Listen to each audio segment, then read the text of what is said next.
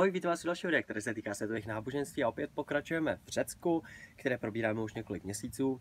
Dneska jdeme na krátký příběh, eh, který se bude zabývat Aresem, Árem, čili Marsem, Venuší, neboli Afroditou a Hefajstem.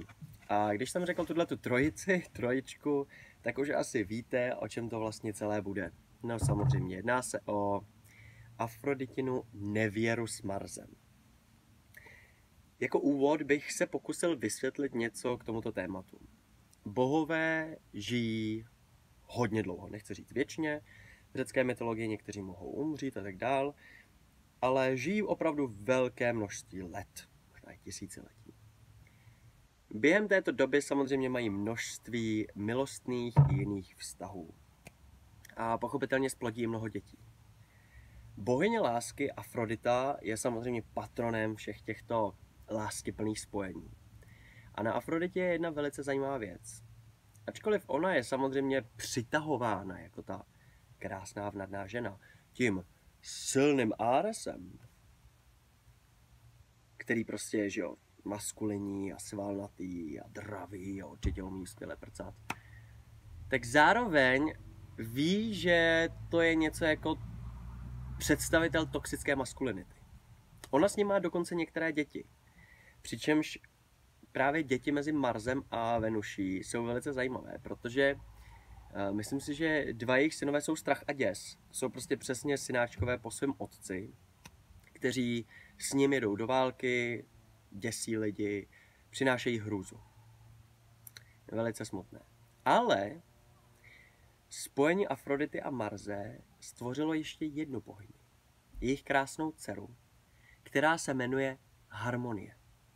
A právě harmonie je to, čeho samozřejmě chceme v životě všichni dosáhnout, co je naším cílem.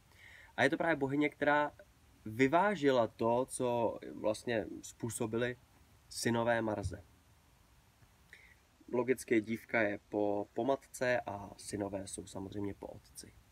Tato harmonie je potom zapletena například do příběhu Kadmose a dalších hrdinů, o kterých budu ještě později mluvit. Je tedy vidět, že za prvé, tedy já neustále mluvím o tom, jako kdyby řečtí bohové byly skutečné osoby, samozřejmě jsou to metafory. Ale v tom příběhu, kde jsou to reálné lidské osoby, tak to vždycky má nějaký smysl. Zároveň však Afrodita jako taková není úplná běhna. Je logický, že musí jako mít bohatý sexuální život, když je bohyní i sexuality a lásky. Ale čeho si na ní cením je to, že ona si za manžela vybrala právě Hefajsta. O Hefajstovi budu dělat zvlášť video ještě. Podotkněme jenom, že to je relativně ošklivý, trošku i zmrzačený muž, který se narodil ze zvláštního spojení Héry s ní samotnou. Héra plus Héra rovná se Hefajstos. A byl dokonce při narození tak ošklivý, že ho Héra chtěla zavrhnout.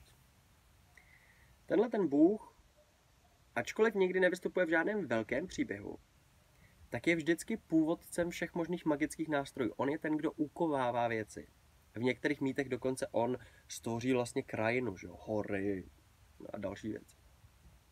Někdy, zvlášť ve spojení tedy s tím římským vulkánem, což je jeho alter ego, tak bývá i patronem sopek. Takže on umí být i zlý. Ale zároveň on vlastně dodává bohům jejich magické artefakty, díky kterým oni jsou také tak mocní a také dává lidem tyto zázračné artefakty.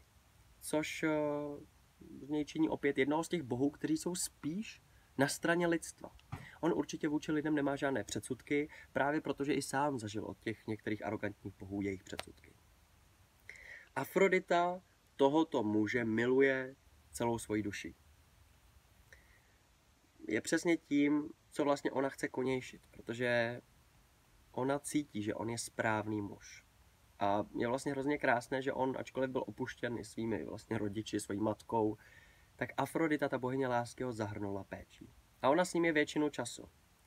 Samozřejmě občas si potřebuje jako trošku užít jako rajda a, a na to má právě toho Marze. Což se Hefajstovi pochopitelně moc nelíbí a vyvolávalo to příběh, nebo vyvolalo to příběh, nejslavnější příběh právě o Marzovi a Venuši a Hefajstovi, je to jenom opět z mála příběhů, kde Mars vůbec vystupuje, protože Ares je bohem, kterého řekové neměli moc rádi, měl pár zasvěcených třeba návrší a oltářů a podobně, ale on byl vlastně tím jako špatným bohem, když to tak řeknu. Tím, co křesťané mají třeba jako satana nebo egyptiané jako seta. To není Hades, kdo je v řecké mytologii zlý, bůh podsvětí. On je spravedlivý. Ares, bůh války, naopak ten, kdo přináší lidstvu zlo. Kdo planetě přináší jenom samou zkázu. No a já dneska přečtu opět kousek z Ovidia, z jeho proměn. A přečtu právě ten kousek, kde Hephaistos se rozhodl, že odhalí nevěru Venuše, protože on si řekl, tyjo, jak to udělám. A nejlepší způsob, protože on nechtěl zmlátit Arese, asi taky věděl, že by to bylo docela jako nepříjemný souboj. Na jedné straně bůh války, na druhé straně, že jo, silný Hephaistos se svýma zbraněma. Byl by to asi docela masakr vzájemný. A zároveň nechtěl asi svoji ženu taky odvrhnout, nechtěl jí možná úplně jako se s ní rozvést, ale chtěl poukázat na její nevěru.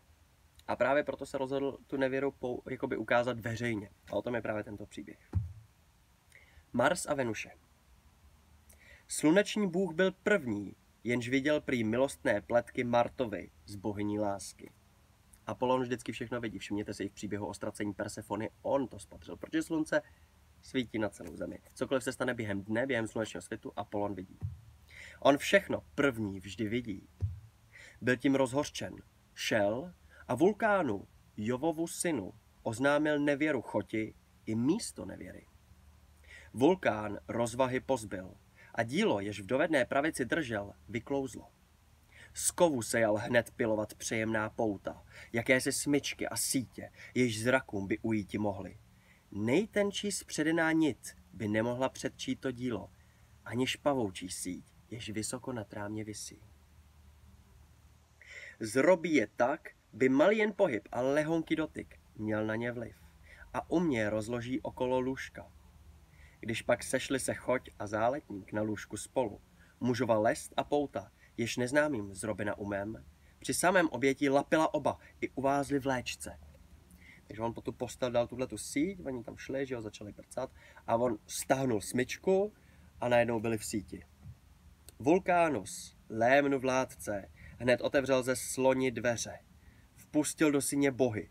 Tu leželi spoutaní oba, na hanbu svou. Však z bohů veselých let kdo do v té chvíli takové hanby si přál. I smáli se nebeští bozy. Dlouho pak po celém nebi ten příběh byl hovoru látkou. Tím to vlastně končí a Hephaistos byl vlastně spokojený s tím, že on tu nevěru ukázal, vysmál se a Afrodita se tak jako zastyděla, co vlastně, že to udělala. Chybou, že Mars se styděl, ale Afrodita určitě ano.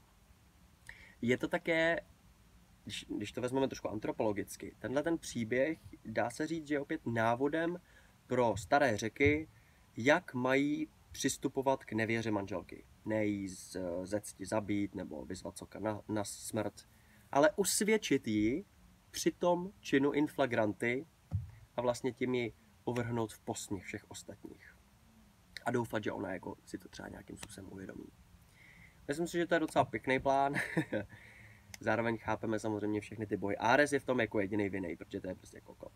Co si budeme říkat. Ale Afrodita, že jo, samozřejmě má svoje ženské pudy a nemůžeme si být jistí, zda Hephaistos toto dokázal úplně splnit, protože tím, že byl splozen pouze z ženy, tak se někdy hovoří o tom, že jeho mužství bylo velice omezené. Byl to sice velký hromotluk, ale neznáte to. Takže v tomhle ohledu uh, si myslím, že příběh Marze a Afrodity a Hephaista ukazuje na spoustu věcí v řecké mytologii. Je opět zvláštní, že to je příběh, který se rozšířil. Myslím si, že to je docela oblíbený příběh. I tady sám Ovidius říká, že bohové o tom začali vyprávět, proto i lidé samozřejmě ten příběh přebrali. A je to takový ten typický klevetnický příběh, uh, kdy prostě se říkají drby v obozích.